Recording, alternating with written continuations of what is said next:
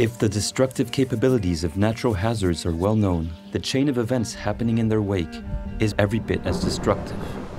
Without development efforts, these ripples can have long-term effects on employment, health, population migrations, and perpetuate the cycle of poverty.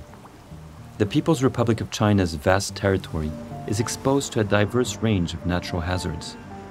From severe droughts to devastating flooding, tropical cyclones, earthquakes, and landslides, the country faces numerous challenges. And these threats are not going away. On the contrary, climate change and rapid urbanization are increasing the frequency and intensity of disasters. In our modern society, the web of interconnected urban functions is becoming highly vulnerable to hazards as they ripple through the whole system quickly and cause secondary and derivative damages. Rural areas, mostly populated by the elderly and the youth, due to the massive migration of workers to cities and industrial zones, have seen their coping capacity weakened, while land contract systems result in disaster-induced debt by leveraging exposure to natural hazards. Carefully designed disaster risk management is critical to limiting vulnerabilities and strengthening sustainable recovery capabilities.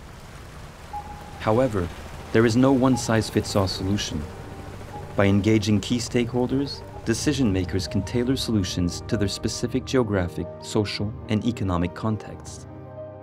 This is crucial for addressing both the complexity of urban systems and the unique challenges faced by the rural areas of the People's Republic of China. Cost effectiveness principles are vital as well, as they ensure the most impactful and effective measures are prioritized and that they benefit all, in the country and the region. Because natural hazards know no borders. Collaboration with neighboring countries is essential in the promotion of regional disaster resilience.